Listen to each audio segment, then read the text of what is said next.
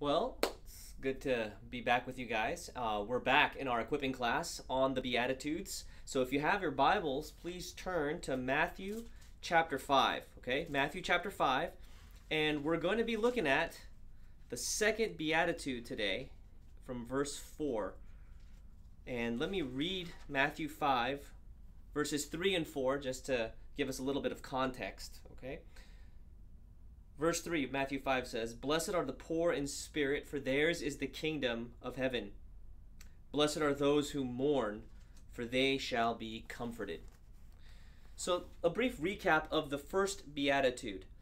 Uh, Blessed are the poor in spirit. Poverty of spirit, as we learned last time, is the doorway into the kingdom. Without it, you can't be blessed of God. You can't enter the kingdom. You can't be filled with the fullness of God's blessing unless what? You're empty first. And this is humility. This is repentance. This is really just an accurate view of yourself before the true and living God. And for seeing that reality in your heart, being convinced of it by the Holy Spirit's work in you, what happens? Well, you're blessed. You're blessed of God. You are immensely satisfied, joyful, happy in Jesus Christ. All right? So that's poor in spirit. Now, this idea of blessedness, we didn't cover this last week, but I wanted to kind of come back and touch base with all of you on this. It's a concept that a Jewish audience would have been very familiar with. All the way back in Genesis 12 and the Abrahamic covenant, it contains several blessings for the nation of Israel, and then it ends on a note of universal blessing through the seed of Abraham, Genesis 12:3. So not only blessing for one people, but blessing for all the families of the earth. Deuteronomy 28. The Torah, the, the law, ends with covenantal blessings and curses blessings for obedience and curses for disobedience.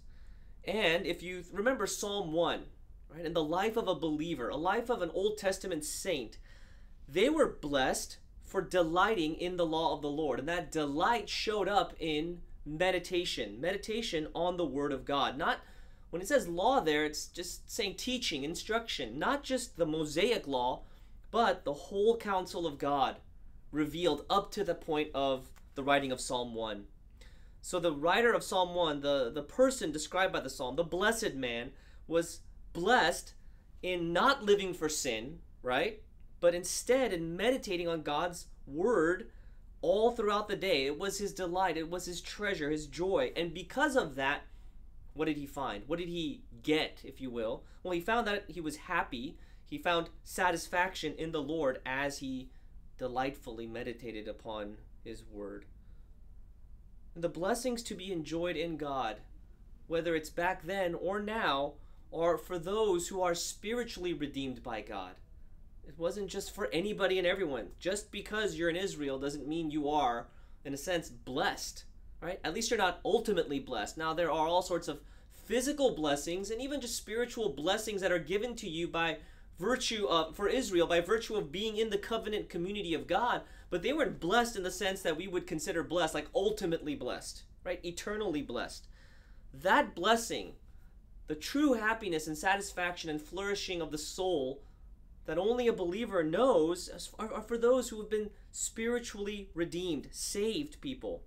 See, Israel in the wilderness, if you think about them, they, you know, they they were uh, redeemed out of Egypt. They crossed the Red Sea. They were saved physically.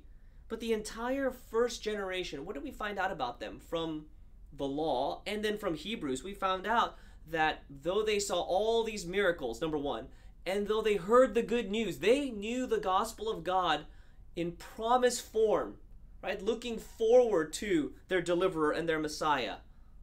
And they knew that God was their Savior, that God was the only possible hope, their deliverer, right? The one that loved them and wanted them to be His people and for Him to be their God forever and ever. What did they do?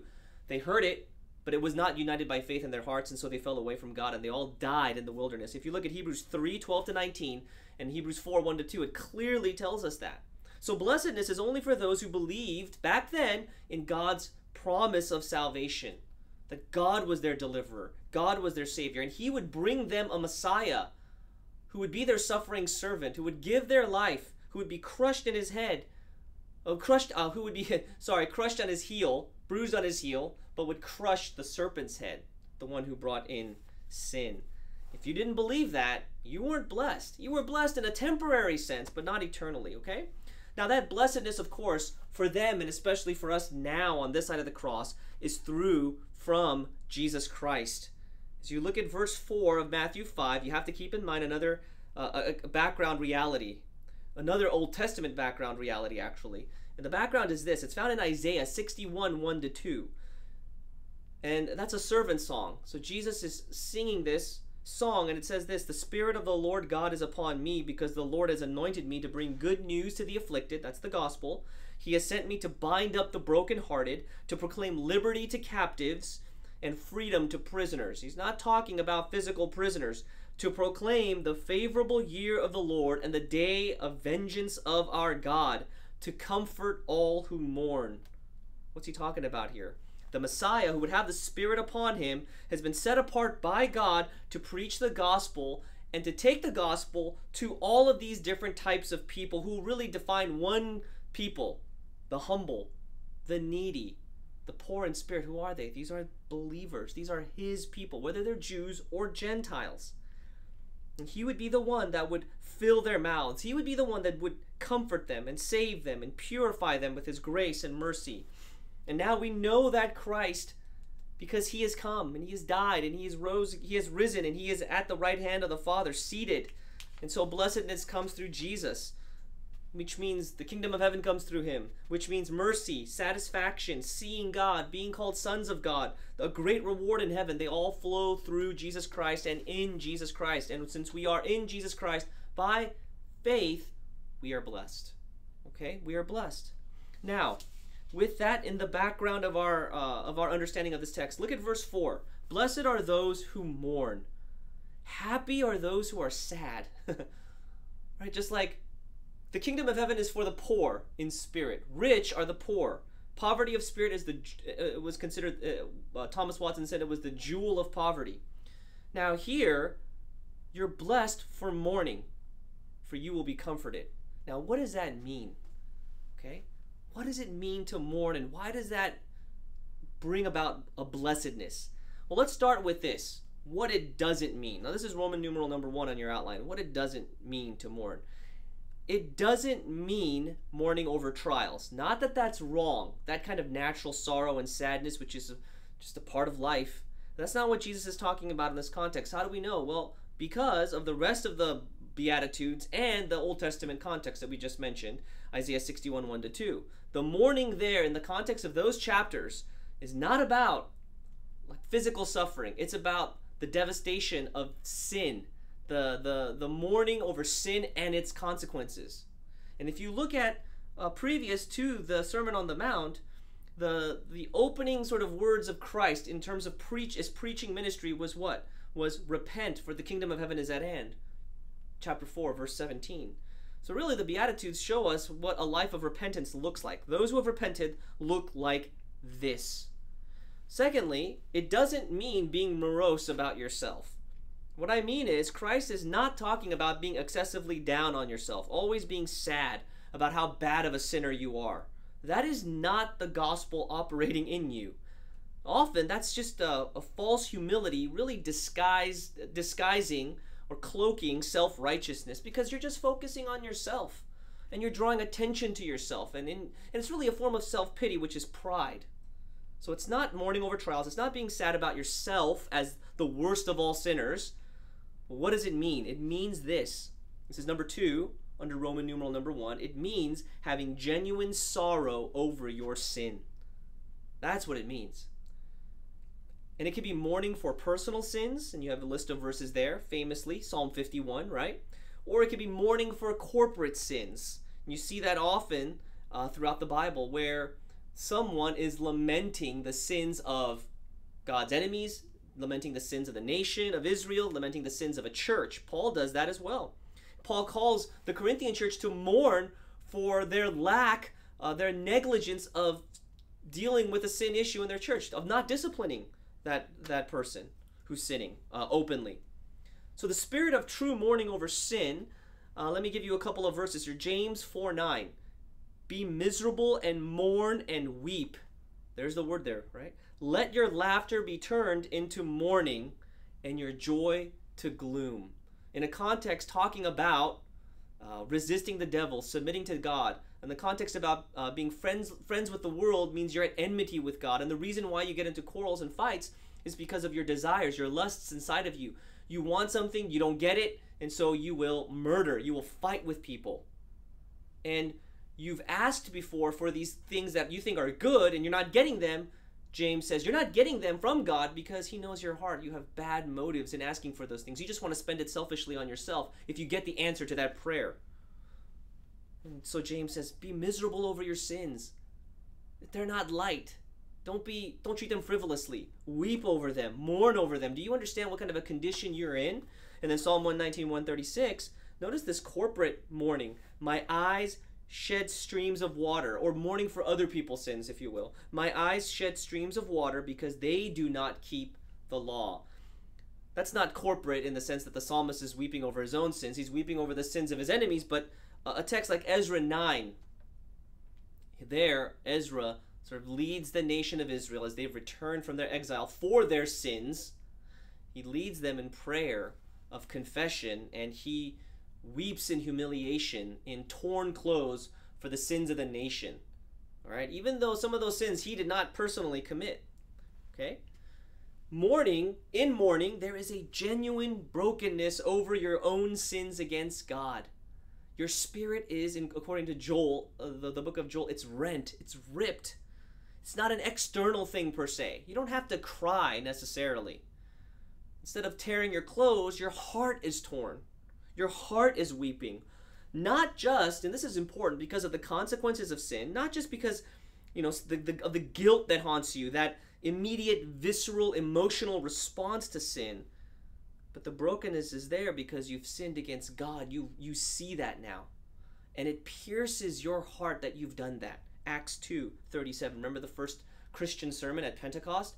They heard the gospel, they realized they put Jesus, the Messiah, their Messiah, on the cross. They crucified him, and they were pierced in their hearts, it said. And then they repented and they turned to Christ in faith, and they were saved and baptized. You realize that you've grieved the Holy Spirit, whom He's placed inside of you. Ephesians 4:30. You sinned against God by pursuing the lies of the uh, of our idols, the idols of our age, the idols in our hearts, because we believe that they were somehow better than God, more satisfying than God, and that God was somehow lying to you and holding holding back some good from you. You realize that you you know you, you've despised the blood of the cross that purchased your soul for some you know you, you've despised it for some created thing that promises some gratification. The Bible says that sinning, sin, is committing spiritual adultery against the spouse who created you, who loves you, who redeemed you. And for us in particular, it's against the spouse who laid down his life for us so that he could present us holy and blameless to himself and to the Father. And that's why, over the many, many generations, believers have found um, such a connection with the words of Psalm 51. Psalm 51. If you want to just quickly turn there and take a look at Psalm 51, uh, the, that powerful prayer of mourning over your sins. Just look at verse 4.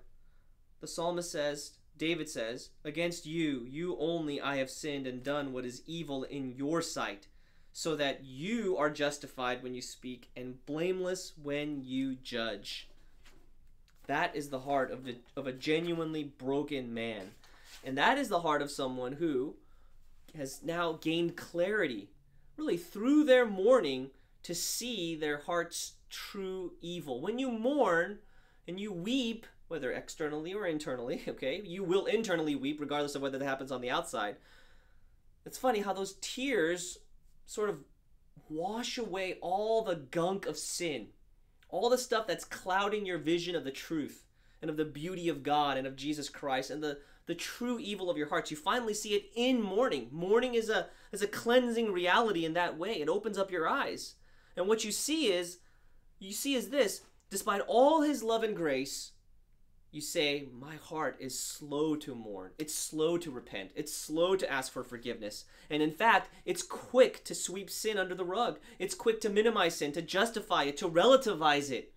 It's quick to compare uh, my sins to other people's sins and take sins that are way worse than mine, according to my estimation, and make myself feel better as a result and, and, and uh, sort of allow myself to tolerate and condone my own sins you realize that the heart is slow to war against sin, to kill it.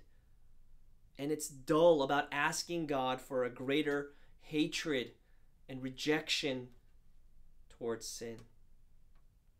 And in the end, when your heart is genuinely broken like this, like David in Psalm 51 or Psalm 32, and you are crying out to God for His grace and His loving kindness and His compassion to blot out your transgressions, to forgive you, and to cleanse you with the blood of Jesus Christ, what ends up happening is 2 Corinthians 7 9 to 11. You will repent. You will turn. You will not be the same. There, there is a genuine turning away from sin on the inside and therefore on the outside. 2 Corinthians 7 9 to 11 says this. He says, um, For you were made sorrowful according to the will of God, so that you might not suffer loss in anything through us. For the sorrow that is according to the will of God produces a repentance without regret, leading to salvation, but the sorrow of the world produces death. So a fake repentance, sort of a surface shallow mourning, only produces death. For behold, what earnestness this very thing, this godly sorrow has produced in you. What vindication of yourselves, what indignation, what fear, what longing, what zeal, what avenging of wrong, and everything you demonstrated yourselves to be innocent in the matter. They cleared everything up within their conscience, with each other, with God. They, they, they went above and beyond the call of duty. And that's what repentance really does look like. There is no regret for what you lose out when you mourn over your sins and repent. You don't care if you have to lose money or a job or relationships or your reputation or even your family because being right with God and having fellowship with Him and is is more important to your heart than anything else. You know that satisfaction is found in being with Him more than anywhere or anywhere, um, more than in anything or anywhere else. And there's no self pity in that mourning. You're not looking back, saying, "Well, I left this life behind. I'm gonna have to lose this and lose out on that." No, there's none of that whatsoever. Also, there's no like rolling up into a fetal ball, paralyzed by guilt and fear. Repentance is not being afraid of God in a terrified, slavish sort of way. The conviction of sin or true guilt leads to leads to Christ. It leads to forgiveness. It leads to receiving His love and grace uh, for you and wiping out your sins. Okay, and realizing that, that the power of the gospel is for that particular sin, right then and there, no matter how entrenched that pattern of sin might be. And it results also, if you remember, if you look at 2 Corinthians 7, again, 9 through 11, it results in a zeal and a longing for personal holiness.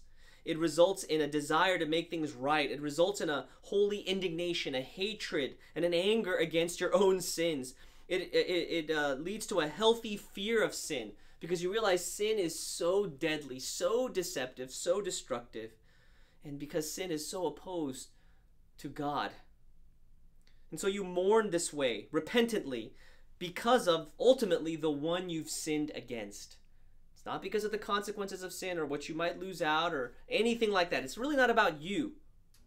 It's because you've sinned against God, the one who loves you, the one who forgives you, the one who cleanses you from all unrighteousness, 1 John 1 9. And so, all godly mourning results in transformation so that you will according to Luke 3 8, bear fruits in keeping with repentance. A mourning heart will move on by faith, because mourning happens by faith. You can't just mourn on your own. You're mourning because you believe that you have sinned against God and sinned against Christ, sinned against the Holy Spirit. Your heart is broken over sin. Only a person who believes in the gospel can, can have a heart broken like that. But once that happens, what else follows suit is a life of obedience driven by that faith grounded mourning. In fact, there is no mourning over sin that doesn't result in breaking from sin. Not perfectly, but you will do whatever it takes to crucify, to kill that sin, practically in your life. There will be a turning. There will be new affections, new desires, new appetites away from one thing, sin, towards righteousness. Now, secondly, second Roman numeral, how can you mourn properly? Like I just said or alluded to, you can't mourn over your sins by just getting yourselves up into a mourning kind of frame. That's the same with poor in spirit. You must take your sins with you as you do the following. Okay? Now, these are not all, they're, they're listed as steps, but it just kind of all happens at once, okay? And it's all by faith. Now look at this. Number one, you have to look at God. You have to look at God. What do I mean? Why? Well, because sin, as David says, is against you, against God. That's who's every, you know, that's whose sin. Every sin is primarily against not man, although they are, but ultimately against the God who owns you, who made you, who owns your rights to the rights to you, who owns the whole universe. He deserves, he demands justice and righteousness. He is holy. That's why. He is holy in majesty, holy in morality. He is pure light, dwells in unapproachable light. He is transcendent in his inher- inherent eternal glory. And so we have to stand in awe of him at all times, but especially when we sin. We have to know, be still and know that he is the Lord.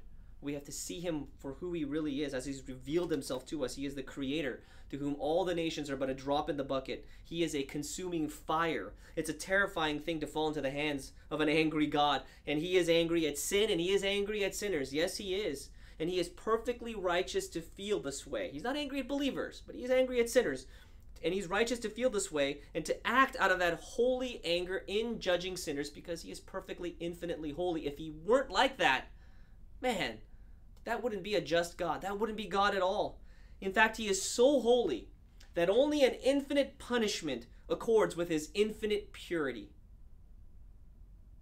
So, when you look at God with your sins, you say with you say something like this with Job 42, 5 through 6, you say, I have heard of you by the hearing of the ear, but now my eye sees you. I've heard sermons on sin, and repentance, and holiness, I've heard sermons on sanctification. I've heard so many things on the gospel, read so many things on holiness and the gospel and sin and dealing with your sins. But now, but now I see you with the eyes of faith. I see your infinitely blinding glory. Therefore I retract, he says, and I repent in dust and ashes. I'm not going to say anything else. I'm not going to rise up. No, I'm going to lower myself. And I'm going to say, I am a sinner. And I have sinned in these specific ways, Lord and in these specific ways against you. And so know that your sin is first and foremost against Him. And look at Him. Look at Him for who He really is. Don't minimize this step. Don't don't treat this lightly. Yes, He is our Father. Of course, He loves us. He's our Abba. He's not angry at us. He, he's not holding a stick over us. He's not going to get us. Okay, we're not going to lose our salvation, lose out on the, the the eternal rewards that are in Christ like in terms of the fullness of our salvation, like somehow we're only going to be 80% saved if we sin too much. No, that's not the point. But the point is, the one that we sinned against is the holy God. Number two, then cast your eyes and look at the cross of Christ. Now, what I mean here is from the holiness of God, you see at, on the cross of Christ the holiness of God in sort of pictorial form, graphically, right? Because on the cross, Jesus died because God is holy. Because we offended his holiness, didn't we? We sinned against his holiness, and the only payment possible for that violation is a perfect one. And so our substitute, the Lamb of God, went up on a cross and was nailed there to death because we violated God's holiness. And so, because God is so holy, infinitely righteous, and just, that was the necessary payment ransom price to deliver us from our bondage to our sins and to deliver us from the penalty of our sins. So don't look at just Jesus dying for you. Look at Jesus dying for you because you offended the infinite holiness of God. And to go with that, look at Jesus paying for each and every sin that you have committed, are committing, and will ever commit. And realize this Take those things into consideration. Man, the holiness of God requires that kind of payment. And my goodness, Jesus died for me for each and every instance of my sin, he's nailed there. And then realize that in your sins, that each of them is, and to the degree that this sin is a long standing one, a pattern, a, a habitual one, one that you've not repented of ever, one that you're holding on to, but you know you shouldn't be holding on to, one that you've treated lightly, realize that each sin is a mockery of the cross. It's a mockery of God's righteousness. It's a mockery of God's holiness. It's a mockery, actually, also of Christ's righteousness. Because only a perfectly righteous God man could hang there on the cross to pay for our sins against God. Realize that each of our sins is a trampling of the blood, the precious blood of Christ. Realize that each of our sins is a grievous dishonoring of the one who spilled his life to save our lives for all eternity. These are not just generic sins that Christ died for, right? They are my sins. That's what a mourning person does. A mourning person, one who's weeping within, says, Those are my sins. Jesus is dying for me up there. Jesus is, Jesus is dying for this particular sin I'm repenting of and confessing in this moment. Every single one of them, including all the desires and motives and inclinations of the heart that are wicked, he paid for all of that with his life. And so the question becomes this how can I sin against him? How can I spurn his agony for me so easily, so flippantly? Do I not have a soul? Is my conscience still working at all? Right? And if that goes on and on and on, and there's no break, there's no change, there's only hardness of heart, there's only a shallow repentance, there's only a trivial dealing with sin, be warned. Be warned. I don't say this lightly. But you need to check your soul. You need to examine your faith. Are you born again? Do you know Jesus Christ? Because one who sees the glory of the cross and the wonder of that death for you will not long be in sin. There will be a moment and a time where you will stop. You will cease from sin. And I'm not saying perfectly, okay? But you will repent of your sin. You will want to kill your sin. And you will take steps to do so on the inside and on the out. Number three, look at his love. His love. The Father's love, the Son's love, both of their loves. What put Christ there on the cross? God's love for the world. John 3:16, Romans 5:8. What put Christ on the cross was Christ's love also for us. Galatians 2:20, Ephesians 5:25. He wanted to buy his bride. That's us. Gaze upon that love for you. Right? Not only is it infinite holiness and righteousness being demonstrated perfectly on the cross, but it's infinite holy love being demonstrated there. Gaze upon that. Father sending his beloved Son, innocent, exalted above sinners, free from any sin whatsoever. He sent his Son in the form of human flesh, and he sent his Son to die for our sins. And the Son laid down his life for us on the cross so that we could be his sheep and his friends and his brothers and sisters forever and ever the godly for the ungodly, the righteous for the unrighteous. Why? For eternal, uh, for what purpose? For eternal forgiveness, for peace, for joy, for union with Him. And of course, why does He do this for me? What's so great about us? And the answer is nothing is great about us. He does this because 1 John 4 8, God is love. The only way we can respond to Him in love and respond to others in love is when we are filled with His love in our hearts through the Holy Spirit, who is the one who pours out God's gospel love into our hearts when we believe, when we properly mourn, when we turn away from sin, when we confess, when we repent, when we realize in our heart of hearts, man, I am such a sinner. And in these specific ways, and you confess them to the Lord, He fills you with His love. So let the love of God so fill your heart that you respond to Him in kind with a child's love that just wants to melt in the arms of their father. They know that their father loves them so much, cares for them so much, is always looking out for them. Let his kindness lead us to repentance. Romans 2 4. Ask yourself, in light of all of this, right, how can I offend the God of love? That's what a mournful person, someone mourning over their sins, will say and then you you and I will really have bitterness towards sin, a zeal for God's honor, and a real longing for holiness. The Puritan Thomas Watson, uh, in the book The Doctrine of Repentance, says that when two things are frozen and congealed together, the best way to separate them is by fire. So, when sin and I are congealed together like this, the only thing that's going to separate me from sin is not my good works, is not my effort, it's not my mustering up enough willpower to mourn over my sins and be poor in spirit and fight.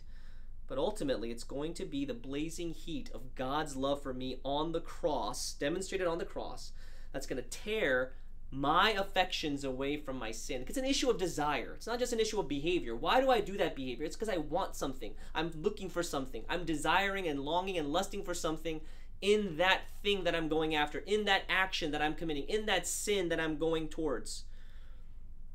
The blazing love of God will produce in me the, the, the affections that only a born again heart has. It'll stir up those affections, I should say, right? It'll it'll incite those affections. It'll increase them. It'll aggravate them in the best sense.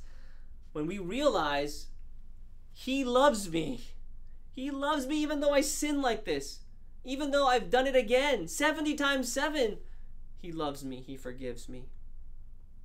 So it's not just the joys of heaven or the torments of hell or, or that will make me turn from sin to God. Ultimately, That's true, those things are important, but it's ultimately it's His love for me as the Father and, and, and Christ's love for me as my Savior and Lord that will awaken in me a deeper mourning over my sins a, a, stronger desire to forsake it, a renewed will to actually turn from my heart away from that sin to serve the true and living God.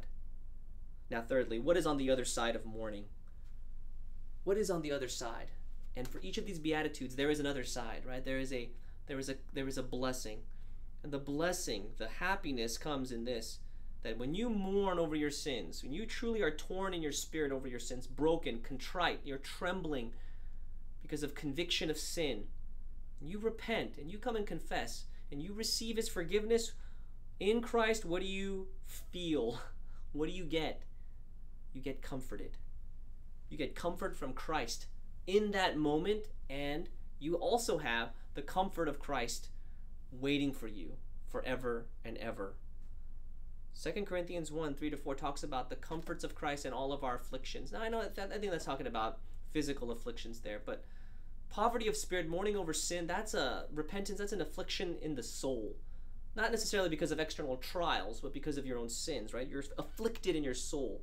When you are afflicted in your soul and you take that to Christ, or you're afflicted in soul in your soul because of Christ, because you've offended him, because you've grieved him, you've hurt his heart, you're acting like a spiritual adulterer to your husband, then you will also have in that one fell swoop, it's almost hard to describe, but you will also have with that mourning, you will then immediately have the comfort and the feeling of being forgiven and the feeling of being loved and cared for and not having your sins imputed against you. You'll have joy. Repentance does lead to joy. I mean, all true repentance really is a joyful uh, repentance, not a giddy one, not like you're smiling and acting like a fool, but true repentance leads to joy because true repentance leads to the comforts of the cross of Christ for your sins. That's why. In fact, if you have a joyless repentance, if at the end of your repentance you're just more uh, more like morbid, more dark, more depressed, despairing, more doubtful and uncertain, that's not repentance at all. You're looking at yourself too much. You're probably looking at what you have to do, what you have to feel, how you need to like do certain steps in order to actually repent and for God to get on, you know, for you to get on God's good side. Don't do that at all. Remember, all the different steps that we just talked about was looking at God, Christ, the cross, His love. It was looking outside of yourself. Once you're convicted of your sin, it doesn't help you to sit there and just look at sin. You need to look at your Savior. You need to look away from yourself look outside of yourself. If you keep looking at yourself, what's, what's going to end up happening is this you are going to want to try harder not to sin. You're going to want to try to make vows so that you'll be pure and holy, and you're going to keep beating yourself up to ease your conscience and to appease a God whom you've now created to be so very hard to please. When the God of the Bible is not like that at all. Don't try to pay off your sin debts. That's not mourning. Okay, that's self righteousness. That's pride. That is Catholic penance. And that will not do anything at all to bring comfort to your soul. It will drive you into greater and greater personal bitterness, not over sin, okay, but personal bitterness because you will, you will never feel right with God. And eventually you will come to hate Him. You will. Spiritual mourning, true spiritual mourning, will be met with God by cleansing because you're going to the cross. You're not going to yourself. You're going to the cross, and God cleanses you with Jesus' blood so that your conscience is pure and your communion with Christ, that pipeline between you and Jesus, is unclogged. Your sin is, is not counted against you. That sin is practically speaking, it's not there as a barrier anymore to your fellowship with Jesus. As you realize, man, it's been nailed to the cross. And that's the comfort that we have now. But we look forward to an eternal comfort, right? A comfort in which all of our mourning will be turned to absolute joy. Can you imagine that? All the sorrow and sadness and mourning and brokenness over our sins will be gone in an instant when we see Jesus face to face, 1 John 3. Will be changed in the twinkling of an eye, 1 Corinthians 15. All this curse of sin and the sorrow and the mourning and the death that sin produces in us and in the world will be eradicated. Not just partially but completely We'll be glorified. All the ravages of, uh, ravages of sin will be gone, inside and out. All mourning itself will be gone. We will never have to mourn for our sins any longer. Because death itself, the wages of sin, will be swallowed up by life, eternal life, for each and every single believer, personally, individually. Revelation 21 4 promises this. It says that He will wipe away every tear from their eyes. Note the intimacy of that image. Just think about God the Father wiping the tears of every single person who's sad and brokenhearted because of their sins and the, the sins that are just running rampant in this world, the sins of their family members, the sins of their nation, the sins of their people. He will wipe away every tear from their eyes. And there will be there will no longer be any death.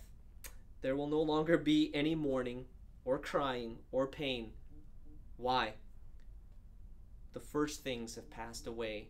The old creation has passed away. The old is gone, the new has come. Now, that's a reality for me, for you, as believer right now. We're a new creation in Christ. And what we are is the first fruits and a preview of what all of creation, the new heavens and new earth, are going to be in the ultimate regeneration. When God recreates everything for his glory and for our eternal good. And so I hope that encourages you and helps you that dealing with your sin is serious business. It's not something to be taken lightly. We have to be killing sin, or lest sin be killing us, according to John Owen. And that's so true. Sin is deceitful, it's deadly, it's insidious, it's subtle, and you know, it gets inside of us in ways that we can't even imagine. The schemes of the devil are numerous and they are very intelligent and smart and devious, and they will they will try, he, he and his minions will try anything and everything to do to upset our faith, to get us off of our position in Christ. Now, we can't lose our salvation, but we can be made miserable, can't we? And so, in dealing with our sins, let's deal with them rightly. Let's deal with them decisively. Let's deal with them in the in the face of God who is holy and in the face of Christ who took our sins, in the face of God who loves us, in the face of Christ who is holy, but who loves us, who cares for us. He cherishes us, He nourishes us. And when we when we see God and Jesus Christ, when we see him truly as he is, it will in fact bring us to a mourning of our sins. And as we mourn and we see him again and afresh on the cross hanging there for those sins, it'll bring us comfort beyond all measure. Let's pray. Father, we thank you for the grace of being able to mourn for our sins, the grace of repentance. You give it to us. And uh, as we do so, we're able to see ourselves clearly and we get to see you more clearly. In fact, the very fact that we get that we are mourning means that we get to that we are understanding our sins ourselves and you more clearly. But that is all because you open our eyes to see those things. You give us the conviction of sin through your spirit. And you help us hate our sins and fight against our sins and put them to death by the Spirit, not by our own willpower or strength. And we thank you that the grace of Christ strengthens us to repent and to mourn and to deal seriously with sin, not lightly. So help us, Lord, to have a holy hatred towards sin, to have a bitterness towards sin, because we see how it affects our communion with Christ. We see how Jesus died for that sin and our sins, and we don't want to hurt the heart, grieve the heart of the one who loves us. We don't want to get anything in the way of our communion and our joy and our relationship with Jesus. So help us to properly mourn when we do sin. And through that mourning, Lord, may we be comforted by the comforts of the cross of Christ. In Jesus' name we pray. Amen.